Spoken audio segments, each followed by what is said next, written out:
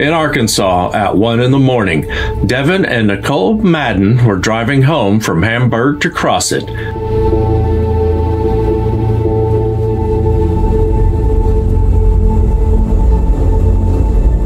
They took a shortcut to their house on the old and rarely used Cross Road.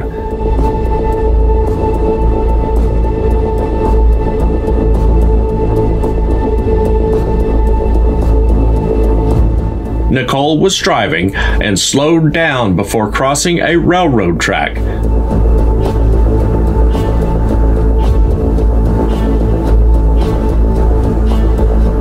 She drove their pickup truck cautiously around a tight curve.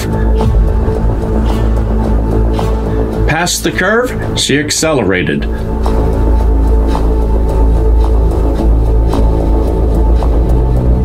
Look out, Devon said. A large creature ran out of the forest, and it was moving fast. Nicole slammed on the brakes. They thought their truck would collide with the creature. The creature managed to stop. It stood there for a moment, inches away from the truck. Nicole looked up into its eyes. The eyes looked almost human, but the creature was covered in hair from head to toes. It looked surprised. A moment later, it ran around the truck, across the road, and into the woods on the other side. Nicole pressed the gas pedal and drove away. What was that? Devon asked. I don't know, Nicole replied, but that was not a bear. It was huge and hairy, Devon said. It was, Nicole said. Should we go back and look for it? No, Devon answered. Devon and Nicole made it home, but were still shocked by what they saw.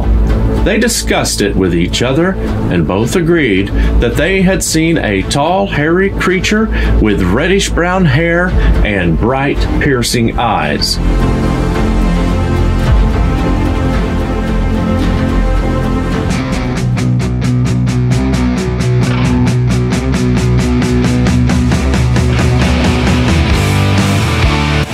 A few weeks later, they told their close friend, Eric Ellis, about what they encountered. Eric told them that there was a group called National Bigfoot Investigators that could have a researcher investigate. They contacted the NBI, and Justin Marley from a Texas branch of Bigfoot researchers met with Devon and Nicole.